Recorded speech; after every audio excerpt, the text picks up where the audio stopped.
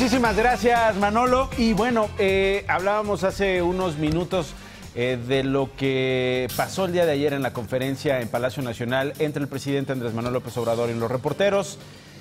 Y vean lo que pasó hace unos minutos. El presidente de México, Andrés Manuel López Obrador, aclaró que dio el nombre, dio a conocer el nombre, le pidió al secretario de la Defensa Nacional dar a conocer el nombre del coordinador nacional de la estrategia y no de quien estuvo en el operativo.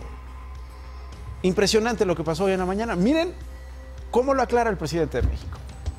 Eh, mire, este, general, sin dar el nombre del que fue amenazado por este, la protección a su familia, sí eh, del nombre del encargado responsable del operativo en lo nacional.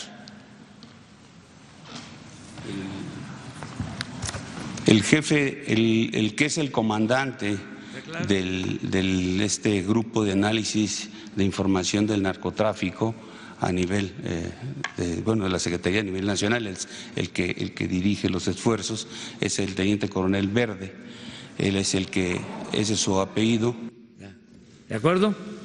Pero yo no sé si los medios, ¿sí? porque este,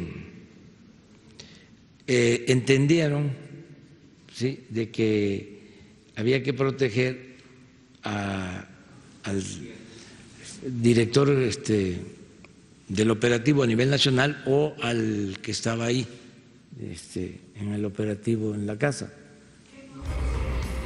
Así lo aclaró el presidente de México. Va a dar mucho de qué hablar, sin lugar a dudas, lo que ocurrió esta mañana en Palacio Nacional, en la que simple y sencillamente le dice a los colegas reporteros, ustedes entendieron mal, yo nunca expuse a nadie.